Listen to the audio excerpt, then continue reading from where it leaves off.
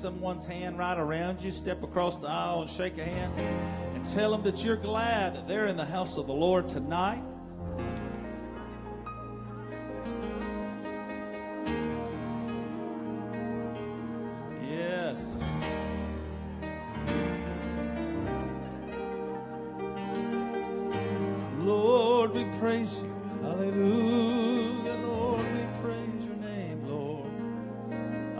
Just invite the presence of the Lord to come into the house tonight in a special way. Lord, we just love you and we praise your holy name. And you are awesome, Lord, to us. Lord, we thank you for your, your spirit. We thank you for your love and your grace, Lord. And we just want to give you praise tonight as we uh, sing to you and we hear the word of God. As I come into your presence, past the gates of praise, into your sanctuary, till we're standing face to face. I can only look upon your countenance, I see the fullness of your grace, and I can only bow down and I'll say,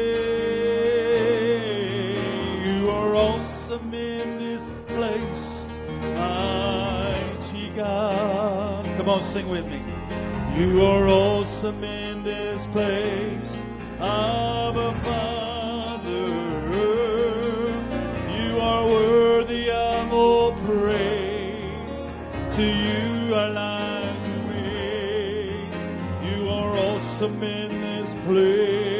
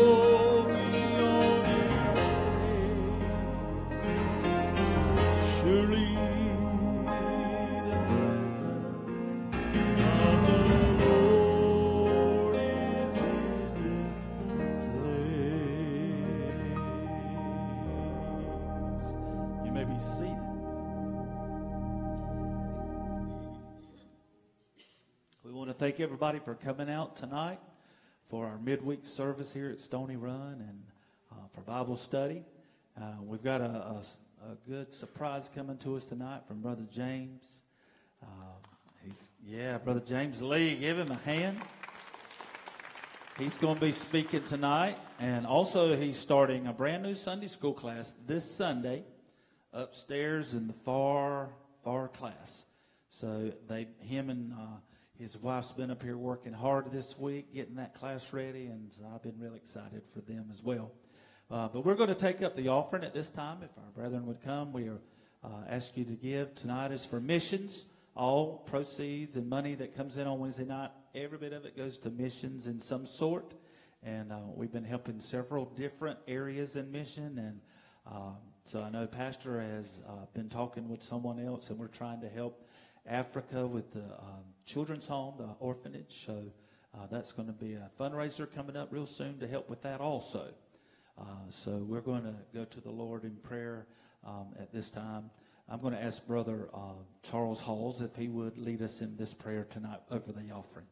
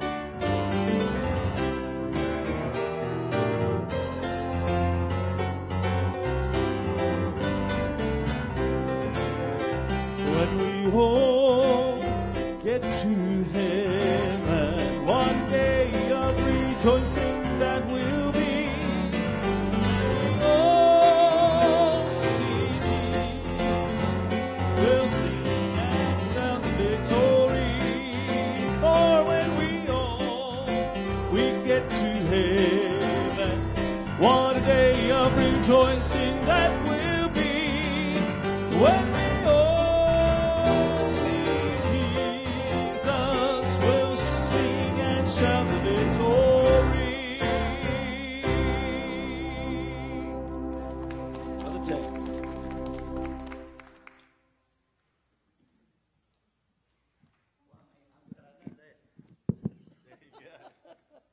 Woo, good evening. How y'all doing tonight? Are you ready for the Lord? I'll use the microphone now. Well, what if he were to come right now? Are you ready? I'm serious now. I, I've said this when I've taught class a long time. And I know years ago I said this, I wish you'd come today. And I had a lady say, No, James, I got loved ones that ain't saved. I said, Well, ma'am, you can say that a hundred years from now. And I fully believe that, Pastor Rodney. The Bible says in Matthew 24, 42, does anybody know what it says in 44? Anybody quote that? Shame on you. But it said, Be you or ye ready. For in such an hour you think not. the Son of Man is going to come. And he'll snatch us all out, those of us that are ready. And I pray each one of us are ready tonight because there'll be that. I talked to a man at the Seas the other day. He was behind me in line checking out. And he said he got talking to his pastor. I don't know who his pastor. He didn't say what church it was. But he said to Pastor Edmund, Are you ready? He says, Well, yeah, but I'm going to catch the second boat.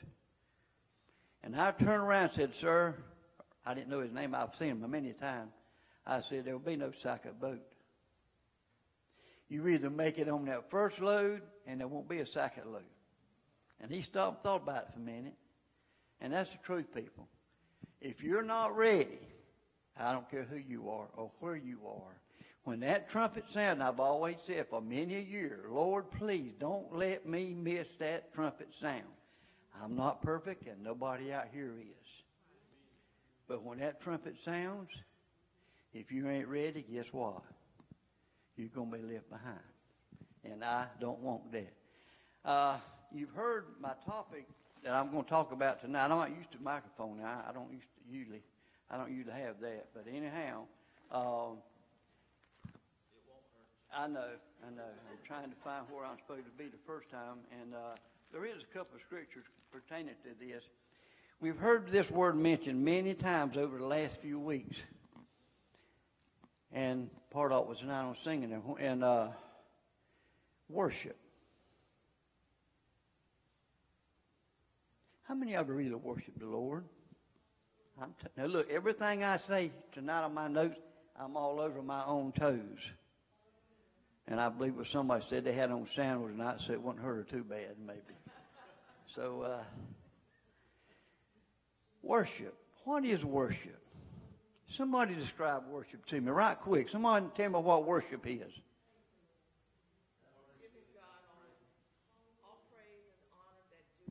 Amen. Amen. loving God. Loving God.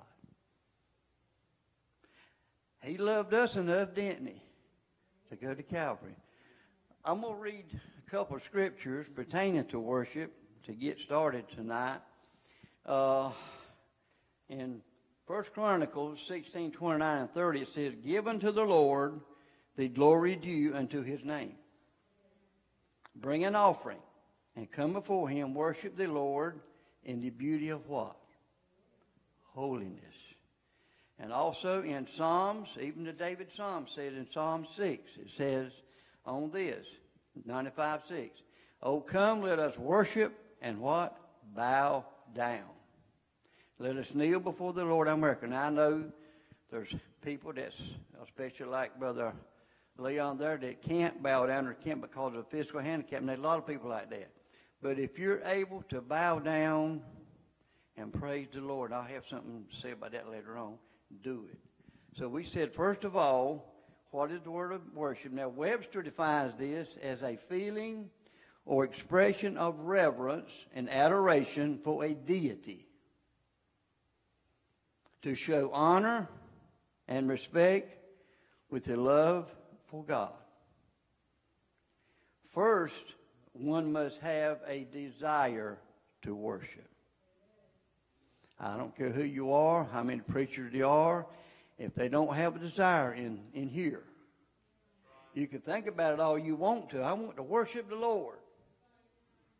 But if you don't think about it in your heart, it's not going to work, Brother Rodney. Uh, you must plan to worship. Think about that. I don't care if it's even in here during the during the morning service. You, as you're sitting there thinking and hearing these songs, and I know Sharon, she was trying her best Sunday to get people to praise the Lord, and I just, I mean, that's great, and we should do that even even through song. But worship is both an attitude and an act. Two things. You first must desire to worship, but if that desire does not put itself into motion, your desire fell out the door. So when you say, I want to worship the Lord, I'm, I plan on coming to worship the Lord, don't just do it out of a habit. No, that's not what God wants. He wants it from the heart, as, as I praying. Said, uh, you got to act on it. You've got to do something. See, we got to do something. God created us to what? Worship Him. Okay, now, you may have heard the expression, he or she worships the ground somebody walks on. Have you not, am I, have I one heard that? Now, I love my wife. I believe it was jury asked us Sunday morning, what does love mean? I said, and I hollered out, Lois. yeah, well, I. but it's true, but I love her. I don't worship her. I don't worship the ground she walks on. In fact, I walk on the same ground she does. But worship and love go together, and God. God will, He's a jealous God. Do you know that? And He loves for us to worship Him. Now, there is also a false worship. You know, it says there's a true God, but there's also a false God, which old Lucifer's trying to take, take care of that. So not all worship is true in heart and in soul and mind. The here's the antidote that Jesus uh, commanded or commended in his discourse with the Samaritan woman remains the best preventative against false worship. It's found in John 4th chapter 23 through 24 that all true worshipers must worship in spirit and in truth. That's the antidote for any false worship out there. Um, in other words, that is, true worship takes place where? On the inside. On the inside. In the heart or spirit of the worshiper. See, we have a spirit. God gave us that when we were born. Um, worship that is pleasing to God must be what? Genuine, real, sincere, and offered with a humble. When we humble ourselves now at this altar, that's showing humility. If you're able, I'm just saying this physical handicap will not allow some people to do that. But when you humble yourself before Him, that's showing humility. This worship is, in truth, should connect the heart or the spirit of worship with the truth about God and who He is, and is also revealed in the redemptive plan in the person of Jesus Christ. How many of you have read the book of uh, Isaiah? I'm going to hit a lot of things tonight about Isaiah. Because I can't imagine. I've often, many times, said this in my prayer of a morning. God, I'd love, and I probably couldn't take it either, to be in that position when he saw God on the throne.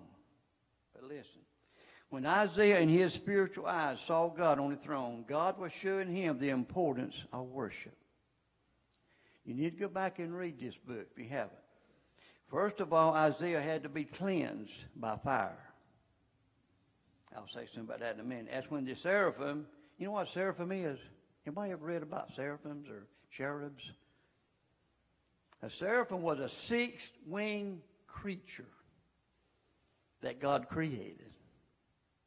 I've seen pictures of people that's, you know, of, in, envision what it looked like. He had six wings.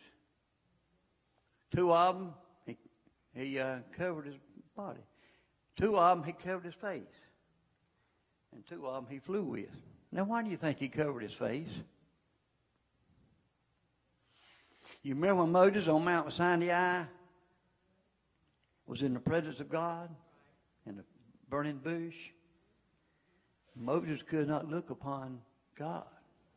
In fact, the word says if anybody looks upon God, he will what? Die. That's why Moses put that veil over his face. When he walked down, his face was so shiny by being in the presence of God that the people probably couldn't accept that. Of course, there's another reason, probably, I feel like. When that Shekinah glory left him, he probably didn't want his people to see that. But these cherubs, this seraphim flew, uh, uh, flew down. And, I said he had he had six wings, and he touched it with that with a coal. He took a, a coal or tongue. Now look, here's something else too that a lot of people don't realize. This was in heaven. Do you do you realize there's two tabernacles? There was a tabernacle. Where do you think Moses got the idea to build a tabernacle on earth? From the original plan in heaven. So God's on his throne. And, and I guess what Paul said, I went up to, I won't go to the third heaven where God is. Anyhow, this seraphim took this hot coal and touched the lips of Isaiah, and then his iniquity or sin was taken away, removed. Remember, since the cross of Jesus and the veil torn, the throne of grace is never empty. It's still there. And I'll say something else about something else that in a few minutes. In Hebrews 4.16, we are told to come what? Boldly to the throne of grace. I don't care what you've done. It's over with. If it's sin and you've been forgiven, you have a right to come to the throne of grace now, boldly. This means we can come to God with confidence and assurance that God will receive us in Christ.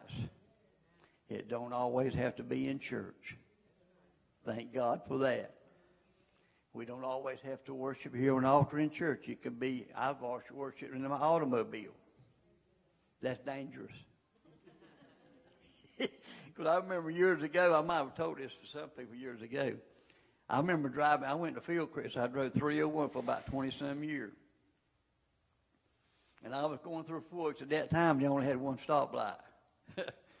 Thank God. And I was just praising the Lord. And all of a sudden, I found myself on the other side of Four Oaks and don't know how I got through Four Oaks, except by the grace of God pulling me through. So that's dangerous. If you worship, try to try to pick a place that you ain't driving on an automobile because it might be, it could be detrimental for you there. Now, uh, how many of you, I don't need no show of hands, but how many of have a place at home where you worship? Think about that.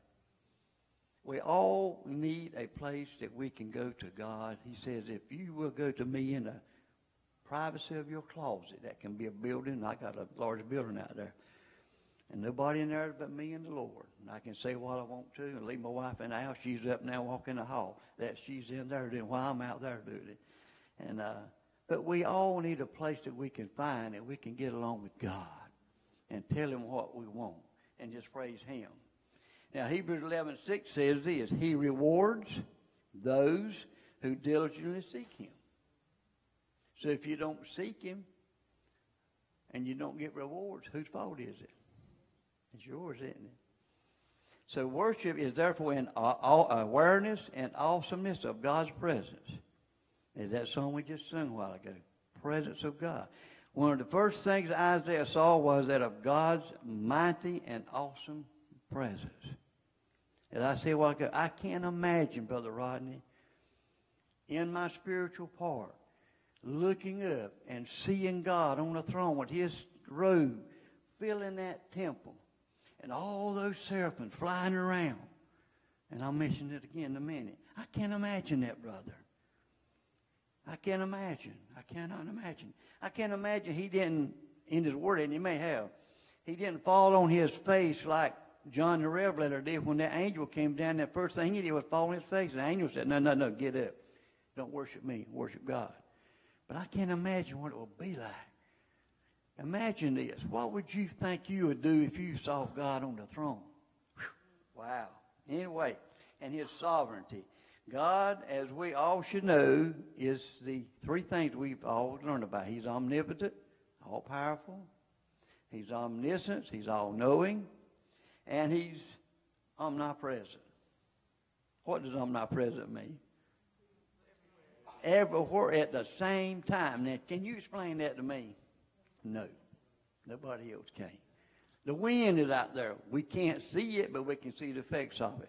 So God is, you know, I used to think years ago, being, you know, Pentecostal around, before I became a Christian, I said, I heard them up here or places praising the Lord and talking and all, all kinds of, I thought gibberish, and I've joined that rank now, but I says, how in the world can God hear all of that? I mean, I, you know, I can't understand. Maybe one of them up there talking. But then I thought about years later. I thought about this. What if a million people around the world hollered out, God forgive me. Don't you think God heard that? So don't put limits on what God can and cannot hear. And don't mind somebody beside of you praising the Lord. Hey, he hears everything. Those are in his vision Isaiah was ushered into the presence of God, then he began to worship. The word tells us in Hebrews 10:25 not to forsake. Am I doing this right here, or is it uh, to the assembling of ourselves together, especially in the house of God. Now, there is a scripture that says judgment is going to begin where? It's in found 1 Peter 4.17. It says judgment is going to begin in the house of God. And it says there, if righteous people are scarcely saved, where do you think the ungodly is? Yeah, I'm giving y'all some food for thought tonight. Think about this. There is something about us that pleases God when we are in one accord. It was in the upper room, wasn't it? And worshiping collectively as a body of believers. We are believers, aren't we? Everybody believes in God. I want to show of hands. How many believe in God?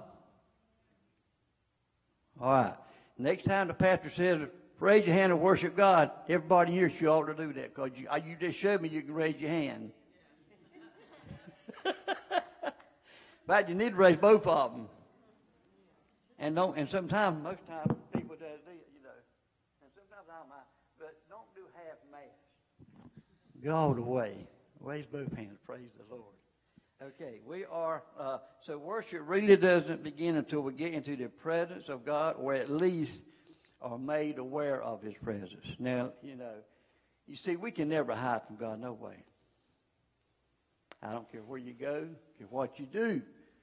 Before I got saved, I was going to Savannah Hill about, what, five miles down the road, and I was smoking. And I'd take my cigarettes out and I'd put them over the sun visor. Boy, who was I fooling? You can't get rid of that smoke, that smell on your body. You can't do it. And I thought was, you know, letting the people, know, they don't want to see me smoking. There's who I had to worry about. I won't fool nobody but myself, really. Even David the psalmist said, he said, if I go to the heights of heaven, or if I go to the depths of hell, I cannot escape God, for he is there. He will be with us through hard times and through good times. Not only praise him in the good time, but Praise Him in the tough times. Well, look, as I've told many people, this is the best that we as Christians, I mean, this is the worst that we as Christians would ever experience. But it's the best that the sinner will ever have. You understand what I'm saying? We may be going through some rough times, but that's going to end at the rapture. Ain't that right, Brother Leon? We're ready for the rapture, aren't we? Amen. But for the sinner, it's going to be over with. Over with. Now, so, uh, plus, by God's all knowing, He reads the sincerity of our thoughts. Do you realize it says in Matthew 12 26 that every idle word will be accounted for? So, whatever you're thinking about me right now, be careful. so it might be writing down in, in the book of life up there. I just said that jokingly. But seriously, be careful how you think about somebody, especially that you don't like or don't know. Look, God loves that drunk in the ditch just as much as He loves me. He don't. He may not like what they do, but He loves them because He gave His only Son. And in Proverbs twenty-three seven it says, "Whatsoever a man thinketh in his heart, so is he. So is he. So if you think you're you're really good, you're not really good. The Bible says there is none good. No, not even one. Listen, our singing, our praising, and praying are all part of our worship. But worship really begins when we become aware of his presence. I've got some more to say on this. As in the tabernacle, the altar of incense represented the praises and the prayers offered up to God. So we, through this same Spirit, can begin to worship God. Worship is before the throne or mercy seat where the blood of Jesus was offered.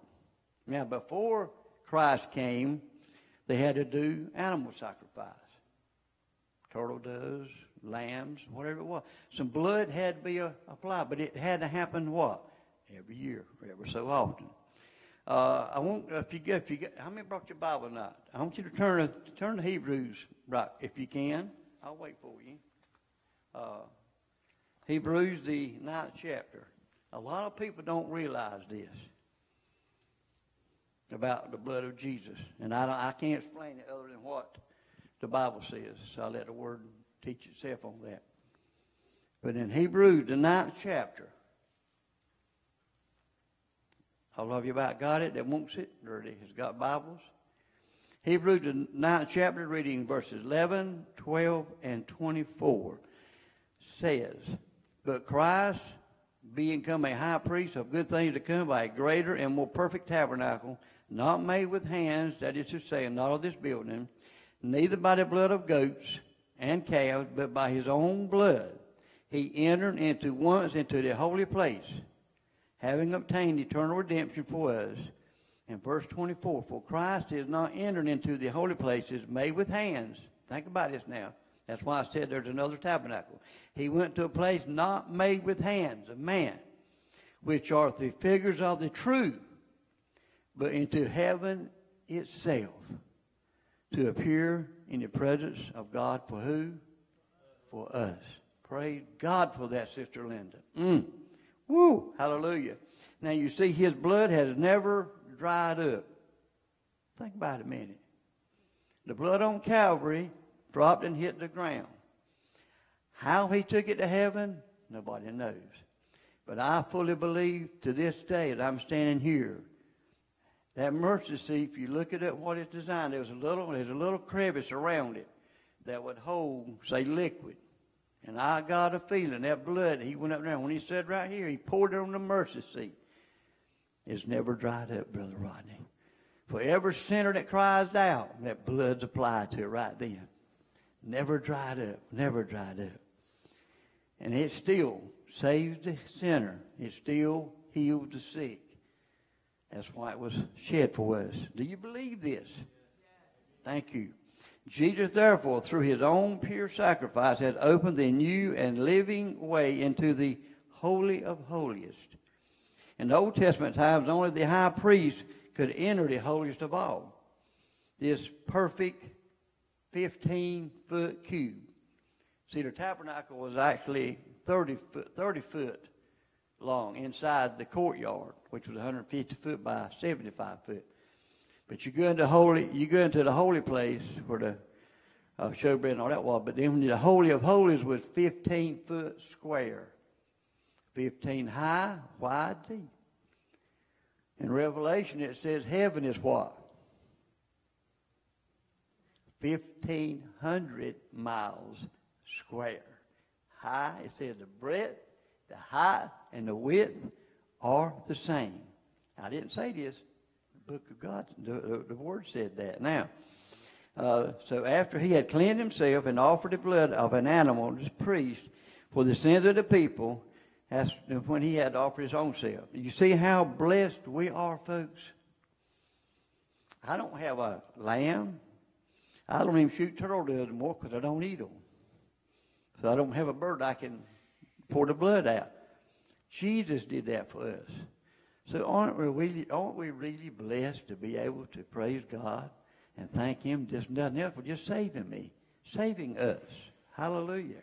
Now, uh, and we don't need a priest or a pastor to cry out to God. We can come, as I said earlier, the word said, come boldly before the throne. You can kneel down anywhere you want to, and God will hear you. Thank God you don't have to be put on hold. Not pure hate that. You got you call somewhere. Let me. You go one, two, three, four. Here's your options you got to have. And then when you get there, well, we're not here today. Call back tomorrow. Well, thank God we don't have to worry about that when we cry out to Jesus. He hears us. Praise the Lord. mm. So then, The blood of Jesus makes it possible for us to commune, and when we're communing with God, we're really worshiping Him. With God and He with us. This Jesus then is the only this, this is the only individual that has been given the title of prophet, priest, and king, except Samuel in the Old Testament. He was a prophet, priest, and king, but nobody else except those two in the whole Bible. Not that I know of. If you found it out, let me know, because I'll, I'll stand corrected on that. Now, so he is our high priest who now sits at the right hand of, of his own Father, making intercession for us. As we pray here on Monday nights, and I encourage anybody that don't come on Monday night to come out here. We intercede for the needs of this people, this church, and the people, and for people around here. All we can do is intercede. God has to intervene. I can't make Brother Leon's shoulder any better than it is, but God can. We offer up prayers to him or anybody, and it's up to God then to do that. But he wants us to do that first. And I know many, many times, I've been, I say criticized, I don't say criticized, but, well, you need to go to the doctor with that. Well, I've had a knee problem for some time, but it's getting better. I'm stubborn. I like to go to God first. And I know the people out there that, that has to go to hospital. I don't, I'm not above that. I've been in hospital. I've had two or three surgeries myself. But I still like to go to God first and say, God, you're my creator. You created me. Would you help me take care of this situation? And I'll praise you right now for it. Don't wait. Don't wait. Now. So, uh, so we can say that communion with God is the very essence of worship. As I mentioned earlier, only the high priest before the time of Christ could enter into that holy place. But now the veil has been lifted, and therefore all with clean and sincere hearts, with our sins forgiven, praise God, can look into this once sealed and clothed veil, seeing him on the throne, who sits there in heavenly places, with his son on his right hand. Praise God, he's there interceding for me, Rodney. When I make a mistake, and ain't none of us perfect, he's there interceding for me. Sister Brenda Gale, she don't like call Brenda. I call her Brenda Gale. so, of course, Jesus has always existed. I'm going to say something here you probably haven't heard before. You see, when Jesus first uh, when he just before he went to the cross, he said in John 17, 5, listen to this carefully, folks. He said, And now, O Father, see, whatever I say, I'm going to back it up with the word. He said, And now, O Father, glorify thou me with thine own self, with the glory which I had with thee before what? Before the world was. That means he always existed, brother and sisters. Praise God. The Trinity has always existed. Of course, some churches don't teach the Trinity. That's their problem, not mine. I believe in the, all three, Father, Son, and the Holy Spirit. They still they existed always, and they will always exist. Now, Revelation 13:8 says this: that the Lamb was slain from where? The foundation of the world. And it says all will worship at one time or another. The Bible says in one place, every knee should bow. But in another place it comes back with a clarifying statement, every knee will bow or shall bow. So wouldn't it be better for us to bow down now when we have an opportunity rather than being forced to? Which is it will happen on that. You see, it was decided before the world was ever created that in the heavens Jesus' death on the cross was foretold. You might say, brothers and sisters, there was a council meeting in the heavens.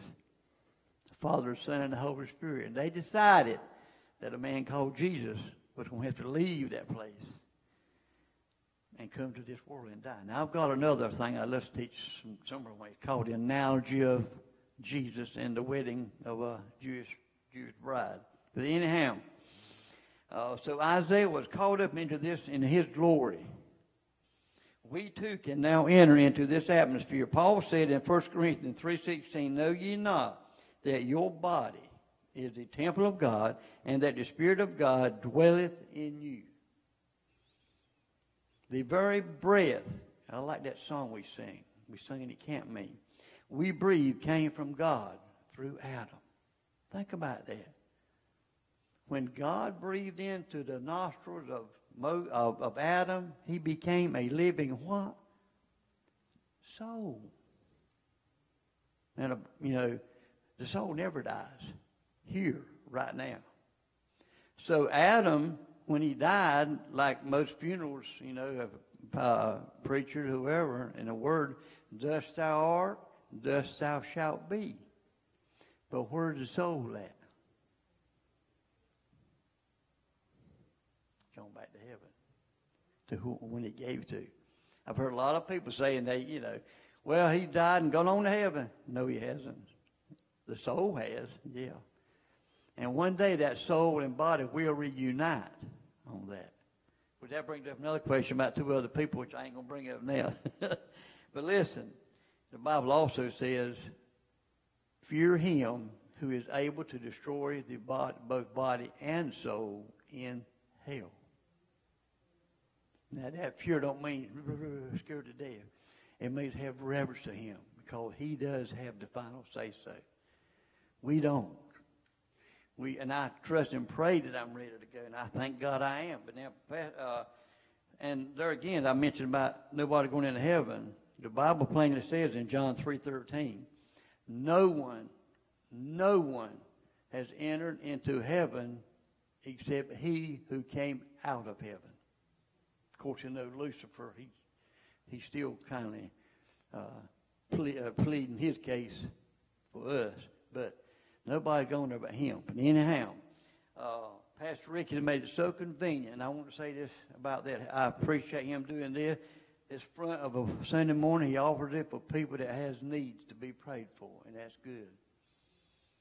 But if you just want to worship the Lord and lift your hand, and I know all of you can now, you done said that, so that. If you want to come up here and pray and praise the Lord and worship Him, you see, a lot of people don't want nobody to come behind them and and lay hands on them if they just want to praise the Lord. Well, that's what He set this aside for. On this side and that side, if you want to come up and just worship the Lord, hands lifted up, kneeling down, whatever you want. I need to do more of it myself. That's He's made it so available for that. So there's no excuses, and don't be ashamed to come to the altar. Well, so and so will see me going up there. Who cares? This place is a place, I think I got it in my notes somewhere. You've heard it before. We have come into his house and we've gathered in his name to do what? To worship him. And the song said that. And we sing it. And we act good about it the words we sing, but do we do it in our own spirit and, and show forth that to God? We need to do more of that. Now, I remember years ago, Brother Thomas's sister, Connie Johnson, you'd sing a song at the Gospel Tabernacle that Jesus is still the answer. That song has been with me all these years. I still say it every now and then. Jesus is still the answer, Brother Thomas. She sung it with a convicted heart. It has never left my mind, and I pray it never will. He is still, he, he was, and he is still the answer. So in us and through us, God can and will manifest his glory and presence if we what? Choose to worship him with a true and sincere heart. He will never force you to do anything against your will. I know they've said, what in the world is a Pentecostal Free Will Baptist doing with a church title? Because free will is still a free will. He has never and never will take that away from us. We either do it on our own volition or we don't do it. It's up to us. I mean, He will not make you. He will not force you, Debbie, to praise Him. Now, He, he created beings to do that. Of course, a third of them fell down with Lucifer. He pulled them out you the power that he had. But our church services should be the place and means of the manifestation of God's presence. Amen? Now, y'all said amen. You know what amen means? So be it. So you've agreed to that, right? We agree when we say amen. It should be that his presence is here. In Ephesians 2.22, it quote, and I quote, all of us as the building of God are fitly framed together and unto a holy temple in the Lord and built together for an habitation of God through the Spirit. Therefore, when we gather together to worship God, we create a habitation of God and the means whereby He can manifest Himself in us. There's something about when we worship collectively that said, God is in this place. One person is good, two persons is good. Could you imagine, Brother Rodney, if all of y'all and other half of the congregation Sunday morning would come in those doors just praising the Lord, singing, you know, hallelujah, praise the Lord. And the preacher said, hmm, well, I'm going to preach today or not. It don't matter. If that many people would come in, all of you, praising the Lord, what in the world do you think would happen? I can't even imagine what would happen. Lord have mercy.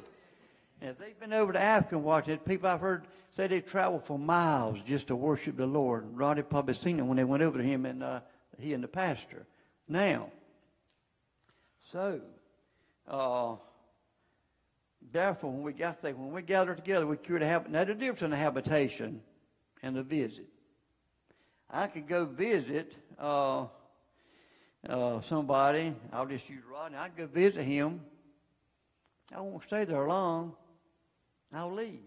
But now, if I were to stay overnight, he might have to take me out and feed me. And I, I eat an awful lot, so it takes a lot to keep me going. But now, when when you have a habitation of God, He don't require you to, you know, have food. He he just wants your soul. He wants your worship. He wants to build a habitation in you. And he, that's why Pastor Rick has been praying and encouraging us. And I've started more of it myself. Even the night before, Saturday night before you come into this church, pray for him. Pray that the Holy Spirit will be so real we can feel it when we come in here and you'll know God's in this place. So, uh, it's not, I'll make a few couple of statements here. It's not necessarily the beautiful sanctuaries, and I've seen a bunch of beautiful sanctuaries just visiting various places, or buildings, nor a wonderful choir, or even our good fellowship, of which all is well and good that should draw people to God's house as much as does the manifestation of God's Spirit. Think about what I just said. We have beautiful choirs singing. Wonderful. Wonderful building, my whole 5,000 people. But if God's presence is not in there, you might well stay at home. Now you think I'm saying this facetious. I am not. God inhabits the praises of his people, and he wants people to praise him. Not only at home, but in here in this church also, in this building also. Um, so when people are saved, healed, delivered, His presence is there. And it's, have you ever felt the presence of God? Well, it's wonderful, isn't it? I might add here, God is also, I'm making that, yeah, I won't say this, it just came to my mind.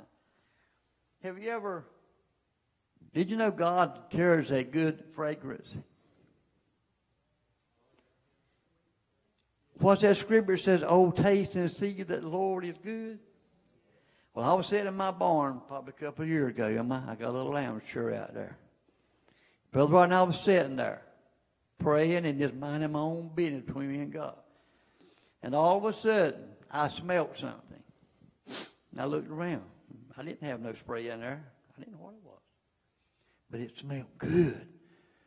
I said, Lord, is that you? And all of a sudden, it come by me again.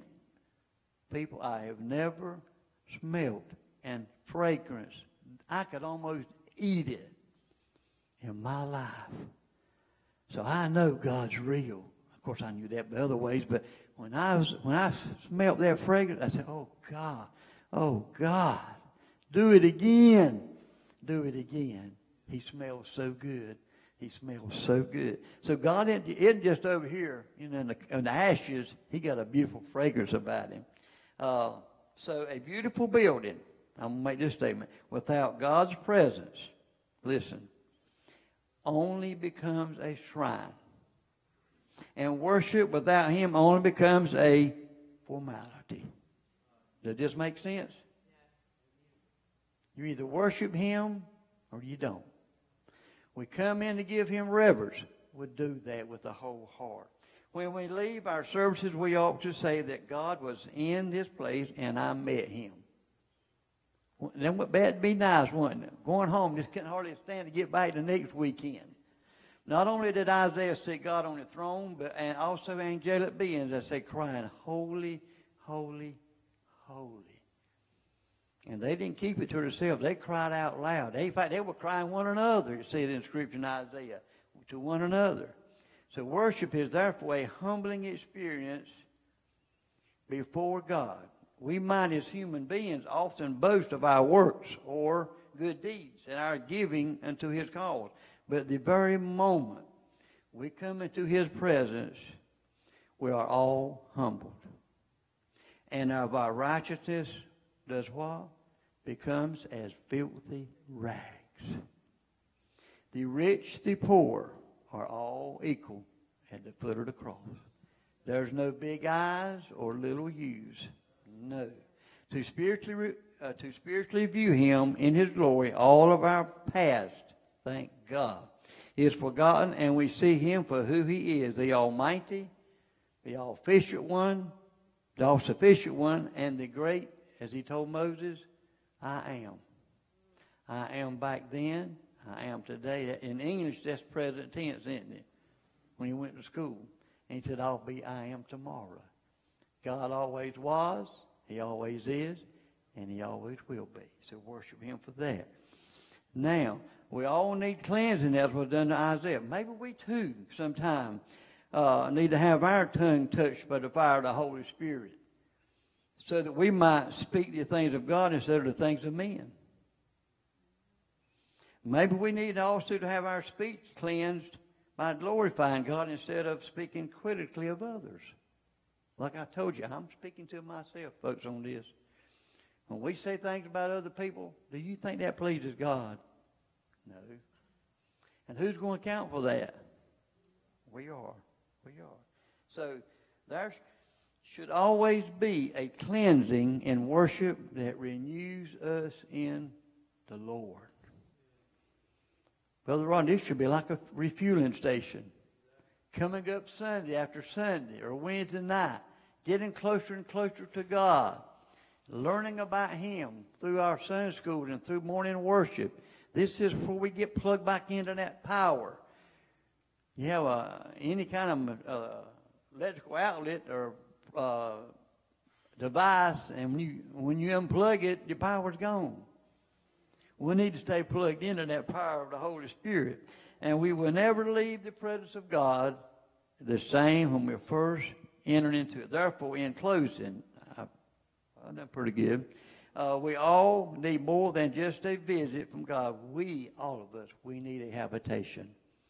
We need God to enter into us and stay with us, and never. And He said He'd never leave us, but we need to make be aware of that. On that.